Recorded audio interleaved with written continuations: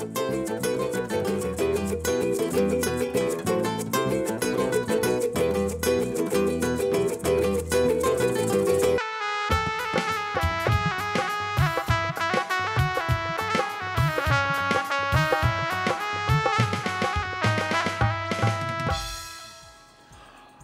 Back खवतीन हजरात आप देख रहे हैं द मॉर्निंग स्टार एक बार फिर आपको शो में खुश आमदेद कहते हैं। अदब और अदाब का बड़ा ताल्लुक़ रहा है पाकिस्तान की सकाफ़त से, कल्चर से, सोसाइटी से, और अगर हम अपने मज़हब की बात करें तो अदब और आदाब जो होते हैं, उनकी बहुत ज़्यादा अहमियत होती है। बात करते हैं अगर हम उर्दू अदब की तो हमें स्कूल में पढ़ाया जाता है, इंग्लिश लिटरेचर भी पढ़ाई जाती है, और इसके अलावा बहुत सारी हमारे मुल्क में इस तरह की ज़बानें हैं जिनकी सकाफ़त, जिनका अदब, जिनका लिटरेचर हम आज तक नहीं जान पाए हैं। उसकी क्या वजह है? उसकी एक वजह ज़बान भी होती है कि हम एक ही ज़बान पर ज़्यादा फोकस करते हैं। उसकी वजह कभी कभी कुछ कल्चरल क्लैशेस होते हैं आपके आपके स्कूल से, आपके घर के बैकग्राउंड के, आपके स्कूल के बैकग्राउंड से, दोस्तों से।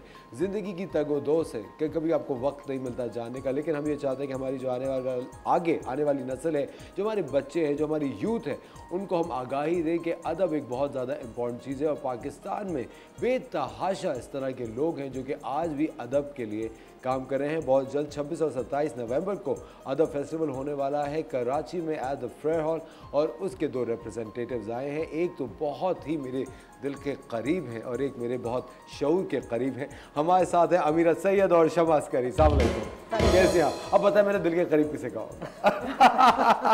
देखिए फेस्टिवल होने वाला है बहुत मुश्किल सवाल है। सबसे पहले तो भाई आप दोनों को खुश आमद शो पे। मैं चाहता हूँ कि शमा एक तो आपको परफॉर्मिंग आर्ट से बहुत गहरा ताल्लुक रहा है काफ़ी अर्से तकरीबन को बीस साल लगभग आप काम करती रही है। बेहतरीन और टेलीविज़न पे भी मैंने शमा ने अपना जो डेब्यू प्ले किया था बदकिस्मती से मेरी अम्मी का रोल किया। इन्होंने करना तो हीरोइन का चाहिए था। But does it really matter अभी। आप अदब के लिए काम करिए।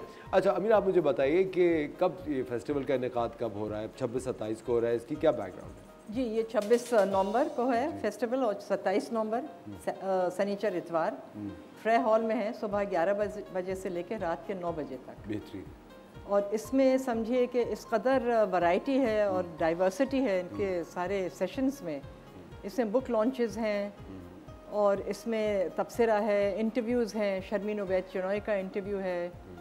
किशोर नाहिद इफ्तार आरिफ आरफा सैदा जहरा। जहरा आपा जहरा निगाह।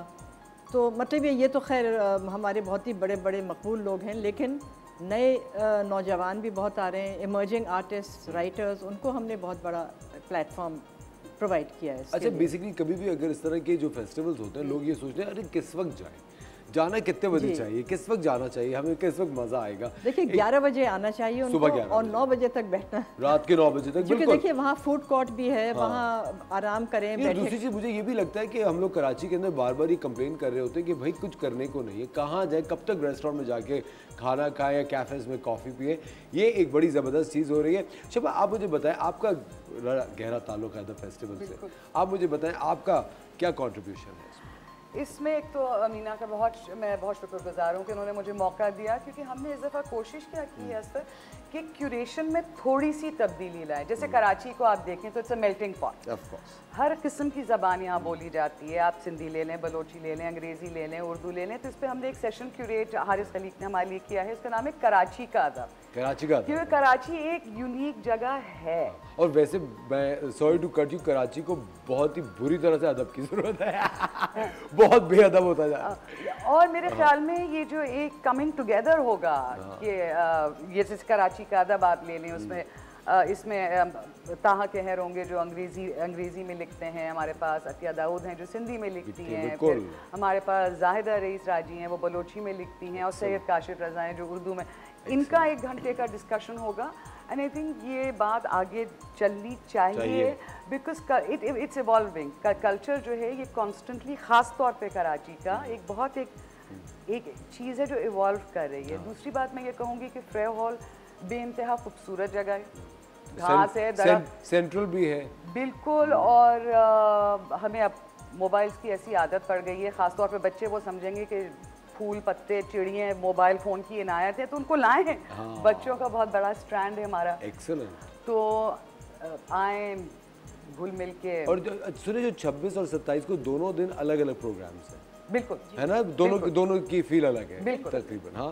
और आई थिंक कि इतवार को ऑफ़ कोर्स बहुत सारे लोग ये प्लान कर ही रहे होते हैं कि क्या करें। और हम लोग हमेशा आपको, जब भी हम अपना शो टुवर्ड्स द वीकेंड लेके जा रहे होते हैं, आपको बताना शुरू करते हैं कि आप वीकेंड पे क्या करें। ऑफ़ कोर्स तो मेरे ख्याल से एक बहुत ही ज़रूरी चीज़ है कि हमें अपने बच्चों को एक डायरेक्शन अब देनी चाहिए। हम बहुत ज़्यादा जान छुड़ाने के लिए उन्हें आईपैड्स और इस तरह गैजेट्स दे देते कि बस ये देख लो और टेलीविज़न पे कार्टून लगाते बस ये देख लो और अपने, अरे भाई बहुत मसरूफ़ है ये कर रहे हैं। आई थिंक ये ये जो एक शनासाई है अदब से बच्चों के लिए, वो बहुत ज़्यादा आजकल के दौर में ज़रूर है, क्योंकि मुझे लगता है एक तरफ़ लोग ये भी कहते हैं मीना कि you know the world is turning into a global village सब एक ही जैसे थोड़े अरसे के बाद लोग हो जाएँगे। मुझे इस चीज़ से मुझे मज़ा नहीं आता। नहीं बिल्कुल नहीं आता। है ना? और हम एक इसी बात पे पता है हमारा एक बहुत अच्छा सेशन है। आई थिंक डॉक्टर आयशा मियाँ उसको मॉडरेट करेंगे। It's on social media and mental health you know ये चीज़ें हम समझ रहे थे अमीना में हम सब जो हमारे कहें कि इन चीज़ों को we need to speak about दम इनकी एक गुफ्तु शुरू करनी है। जो अहम चीज़ें हैं जिनसे शायद कभी कभार हम डर भी जाते हैं कि ये कहना चाहिए कि नहीं। हम्म। लेकिन मेरे ख्याल से ये एक ज़िम्मेदारी आप पे। आई थिंक कहना तो चाहिए। आई थिंक कहना चाहिए और आपको नहीं पता आप कितने लोगों का जहन इससे ब्राइट कर सकें और कितने ज़्यादा लोगों को आप आगाही देकर उनकी लाइफ बेहतर कर सकें। मुझे एक बात बताएँ मीना कि बहुत सारे इस तरह के लोग हैं जो कि अपने घर में ही कुछ ना कुछ लिखते रहे हैं और वो कभी तक उन्हें एक खौफ है। अफकोर्स सबको खौफ होता है फेलियर का या हार जाने का। उनको भी तो दिल चाहता होगा कि इस तरह के फेस्टिवल्स का हिस्सा बने। वो क्या कोई तरीका कार है कि आपसे रबता करें या वो अपना काम इस तरह लोगों के सामने लेकर आए।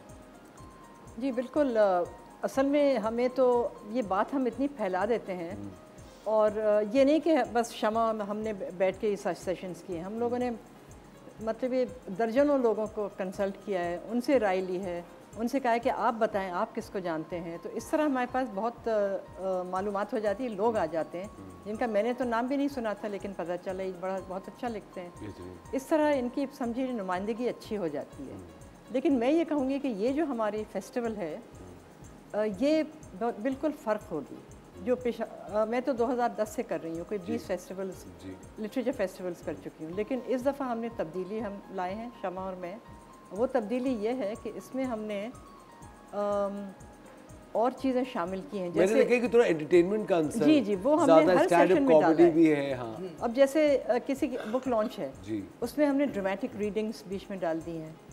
कहीं हमने कोई म्यूज़िक डाल दिया है कहीं कुछ इंटरक्ट वो आ, ऐसा कोई प्रेजेंटेशन या कोई फ़िल्म दिखा दी फ़िल्म क्लिप हम्म। दिखा दी। तो हर सेशन में ये नहीं कि सिर्फ़ बातें हो रही हैं हम्म। लेकिन हमने ये सब मिला दिया है। हम्म। मेरे ख्याल से कोई होलसम सी फील इंशाल्लाह आएगी। लेकिन कभी भी कोई भी हम प्रोजेक्ट कर रहे होते हैं आपको पता है रोज़ आना तकरीबन एक साल हो गया शो करते हुए हर शो से पहले के जो 20 मिनट होते हैं ना वो मेरे लिए थोड़े से जिटरी होते हैं। मुझे होता है कि पता नहीं अल्लाह करे अच्छा शो हो जाए। ऑफकोर्स जब आप फेस्टिवल करते हैं थोड़ी सी तो नर्वसनेस का सामना करना होता होगा है शमा? थोड़ी नहीं काफ़ी। काफ़ी।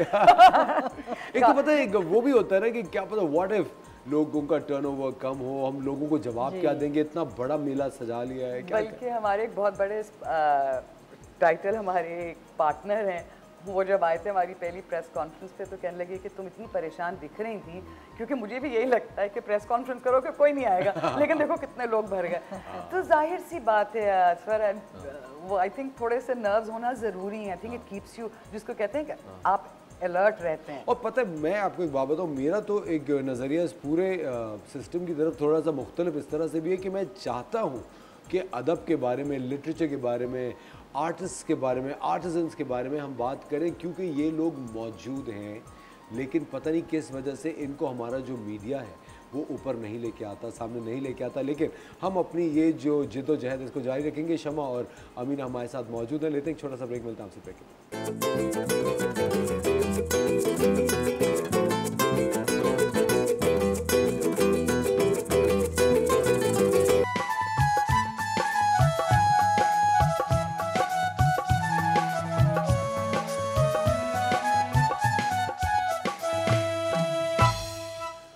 वेलकम बैक खवतिन हजरात आप देख रहे हैं द मॉर्निंग स्टार एक बार फिर आपको शो में खुश आमदेद कहते हैं 26 और 27 नवंबर को कराची में एट द फ्रेयर हॉल होने वाला है अदब फेस्टिवल जो कि बहुत ही एक शानदार फेस्टिवल होगा। अपनी नौीयत का एक मुनफरद फेस्टिवल होगा जाके बहुत गहमा गहमी होगी बुक लॉन्चेस होगी और ख़ास तौर पे आपके बच्चे बहुत इंजॉय करेंगे वहाँ जाके।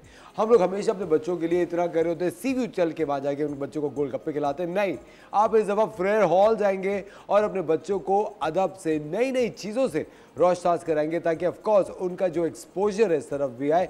अमीना और शमा हमारे साथ मौजूद हैं और शेफ मुनीसा भी मौजूद है क्योंकि शेफ मुनीसा सुनते ही फ़ौरन यहाँ पहुँच गए। अरे मेरे तो दो बच्चे मैं उनको भी ले जाऊँ क्या? मैं कहा शेफ मुनीसा खुद भी वहाँ रहना होगा आपको। फिर बच्चों को छोड़ के मत निकल आइएगा। अच्छा मुझे एक बात ही बताइए इस दफ़ा की जो थीम है द फेस्टिवल की अमीना वो है क्लाइमेट चेंज इसकी कोई खास वजह? देखिए क्लाइमेट चेंज तो हमारे लिए इतने इस साल इतने ये।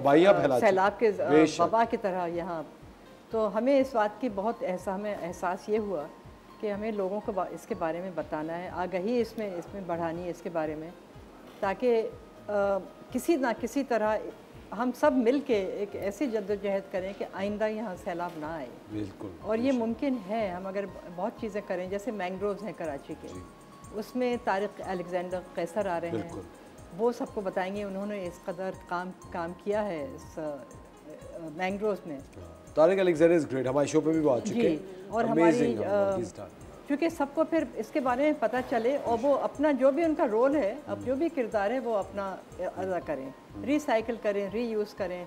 फौजिया मिनल्ला आ रही हैं आर्टिस्ट हैं इस्लामाबाद से आई हैं। उन्होंने सौ फुट का एक इंस्टॉलेशन आर्ट का बनाया है। Excellent. जो पूरे रिसाइकल्ड मटेरियल वेस्ट मटेरियल का बनाया है। वो बच्चों को सिखाएँगी और इस को किस तरह आप वेस्ट मटेरियल से आर्ट पैदा करते हैं। शरी रहमान हमारी चीफ गेस्ट और की नोट स्पीकर हैं। इनाग्रेशन में सनीचर को 11 बजे आप लोग सब आइए। और मसूद लोहार आ रहे हैं जिन्होंने क्लिफ्टन अर्बन फॉरेस्ट बनाया है। और वो भी बताएँगे कि उन्होंने इस कदर काम किया है।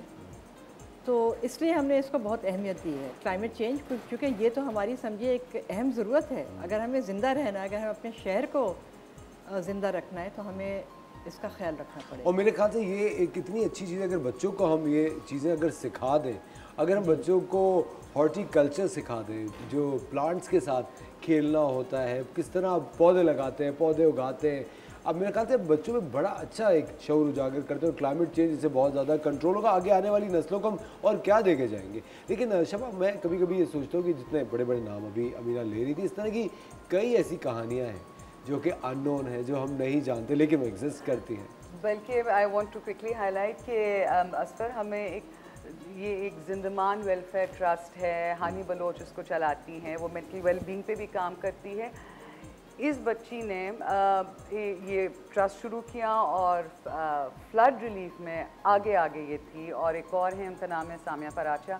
इन दोनों ने मिलकर फ्लड रिलीफ पे बहुत काम किया है। इनको हम एक छोटा सा प्लेटफॉर्म दे रहे हैं। वही वाली बात कि जिन लोगों को हम कोशिश कर रहे हैं कि जिनको लोग जानते नहीं हैं उनको भी सामने लेकर आएँ। बिल्कुल सामने ले। मौका तो दें। मौका तो दें और आई थिंक जितनी भी पजीराई मिलती है उससे आपका कॉन्फिडेंस आई थिंक अपनी काम करने की जो सलाहियत है वो और ज़्यादा मेरे ख्याल से बेहतर होती है। बिल्कुल और ज़्यादा बेहतर होती है। अ, मुझे एक चीज़ विद ड्यू रिस्पेक्ट मैं पूछना चाहता हूँ। ऑफकोर्स ये अदर फेस्टिवल आप लोग करते हैं प्रोजेक्ट डायरेक्टर हैं आप फाउंडर हैं। लेकिन सिर्फ़ आप दोनों तो नहीं होंगे। मेरे ख्याल से टीम तो होगी। अमीना इजाज़त आपसे मैं I want to tell I मैं बहुत खुश हूँ आपने पूछा क्योंकि हमारे पीछे लाइट स्टोन पब्लिशर्स की पूरी टीम खड़ी हुई है जिसमें सबसे पहले मैं शुक्रिया अदा करूँगी नादिया गनी का मजहर बाई का फहाद साहब फहाद मिर्ज़ा शिको देन देर इज़ हमाद जो फाइनेंस में है इनकी पूरी सेल्स टीम का वहाँ रुखसाना भी हैं जो एडिटर हैं वहाँ आफिया आमिर भी हैं। अगर ये लोग नहीं होते तो हम दोनों इतने इत्मीनान से मेकअप लगाकर यहाँ नहीं बैठे हुए होते। ये मतलब मैं इतनी शुक्रगुजार हूँ और ये इतने अच्छे लोग हैं। और मैं मैं बस यही चाह रही हूँ कि इस पूरे फेस्टिवल में यही अच्छाई बस एक फैली रहेगी काइंडनेस बिल्कुल कितनी अच्छी और बात इसी है से हम बस हम आगे बढ़ेंगे लेकिन लेकिन एक एक- जो सिलसिला शमा ट्रेनिंग का जो होता है you know when you have to train people to get into this और अदब तो उसके लिए क्या किया? हमने इसके लिए पिछले साल ये हम ब्रिटिश काउंसिल ने स्पॉन्सर हमें किया था ये ब्रैडफर्ड लिटरेचर फेस्टिवल के साथ मिलके क्योंकि कोविड का ज़माना था। बिल्कुल तो हमारे पास पाँच लड़कियाँ करा पाकिस्तान से थी एक के पी के से थी लड़की एक पंजाब से एक सिंध से एक बलूचिस्तान से एक लड़की कराची से इनको हमने ट्रेन किया था ब्रैडफर्ड के साथ एज प्रोड्यूसर्स एंड ये आठ महीने का पूरा प्रोग्राम था जिसमें I am very very proud to say we have Durbibi who is from Karachi uh, from Liari and uh, she is a trainee producer. इस इस इस फेस्टिवल में uh, दूर बीबी हमारे साथ ट्रेनी प्रोड्यूसर हैं। वेरी नाइस और हमारे साथ तभी तो हम दफ्तर छोड़ के यहाँ बैठे हुए हैं क्योंकि ईमेल्स वो भेज रही है हम नहीं भेज रहे। वेरी नाइस और इसमें हम uh, कोशिश इस दफ़ा कर रहे हैं कि और लोगों को लेकर आएँ। वॉल्टियर्स की हैसियत से नहीं बट एज ट्रेनीज कि वो काम सीखना शुरू करें बिकॉज़ यू नो प्रोड्यूसर का अगर हम नाम अपने और uh, इस्तेमाल करते हैं तो इसका मतलब ये एक इसको एक इसका एक सिस्टम है। एग्जैक्टली ये आप ऐसे ही नहीं फेस्टिवल खड़ा करते बिल्कुल सही सीखना बात पड़ता है। बिल्कुल सही लेकिन अ, मैं एक अमीना आपसे भी पूछना ही चाह रहा हूँ Shama you can put your give your input on this as well कि बहुत सारे लोग हैं मेरे ख्याल से अभी तो वर्ड ऑफ़ माउथ ने बहुत काम किया हुआ है। लोगों को पता चला द फेस्टिवल है या इस तरह का एक प्लेटफॉर्म है हम इस पर रबता कर सकते हैं। इस तरह के कई लोग बेतहाशा लोग वो पाकिस्तानी भी जो कि दूसरे मुल्कों में मुकीम है कहीं और रहते हैं वो पाकिस्तानी भी जो कि पाकिस्तान में ही है। लेकिन उनकी रसाई इस तरह के किसी प्लेटफॉर्म तक नहीं है। वो आपसे कैसे रबता करें? कोई फ़ोन नंबर है कोई ईमेल एड्रेस है कोई इंस्टाग्राम पेज है जहाँ से वो आपसे रबता करें कि हमारा ये हुनर है और हम इस तरह आपसे we need to do this ये असर I am going to write this down because I think अदब को यही अब करना चाहिए। फेस्टिवल के बाद एक कि हम या तो उनको कनेक्ट कर पाएँ कि आप बहुत अच्छा गाते हैं तो हम आपको कहाँ किसके पास भेज सकें? हैं। या जैसे हमने ब्रैडफर्ड के साथ काम किया था कि इसको हम भाई बैरूनी मुल्क क्यों नहीं ले जा सकते? अगर हमारे पास ऐसा टैलेंट है। सो एक्चुअली ये जो पाइपलाइन जो है ये। बन रही है इस पे हमें काम करना पड़ेगा। एक्सलेंट एक्सलेंट और उसकी दूसरी चीज़ ये भी होगी शबा क्योंकि जब इतने ज़्यादा जॉइंट्स एक चीज़ के अंदर ऑलरेडी मौजूद हो शर्मीन आ रही हो या यू नो जिस तरह के आपने अभी नाम आप बता रही थी you know such amazing authors are coming in Zehra Nigah आ रही हैं।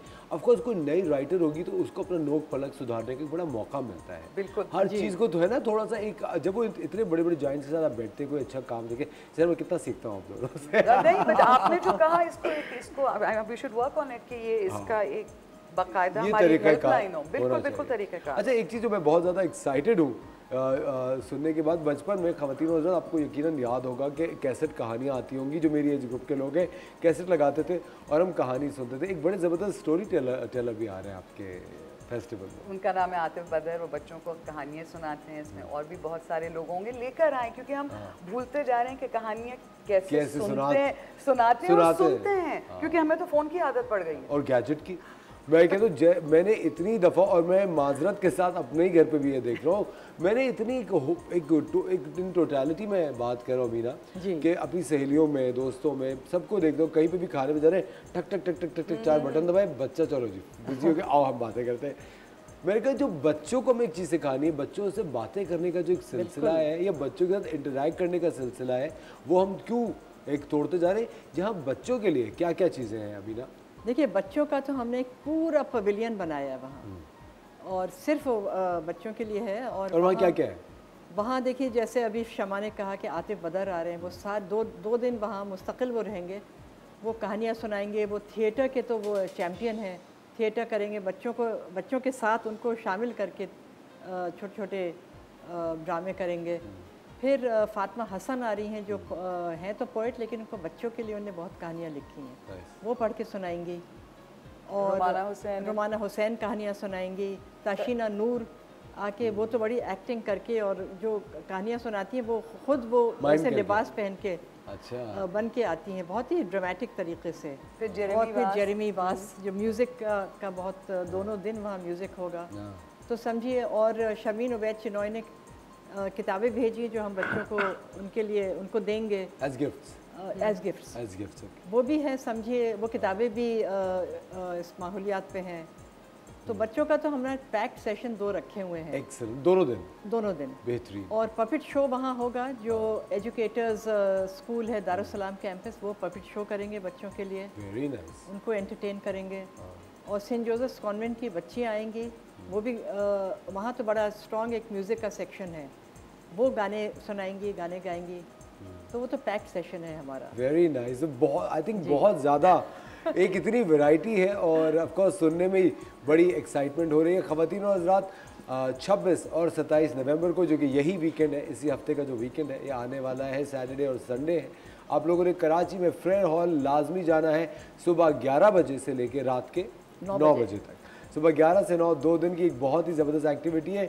बहुत सारे लोग ऐसे सोच रहे होते हैं। अच्छा एक चीज़ और कि बहुत सारे मर्द हजरात हैं अपने घर वालों को टाइम नहीं दे पा रहे होते। बिज़ी स्केजूल की वजह से ये एक बेहतरीन आपके लिए वीकेंड का एक आउटिंग होगी। अपनी फैमिली के साथ आप जाइए। खाने पीने के स्टॉल्स हैं।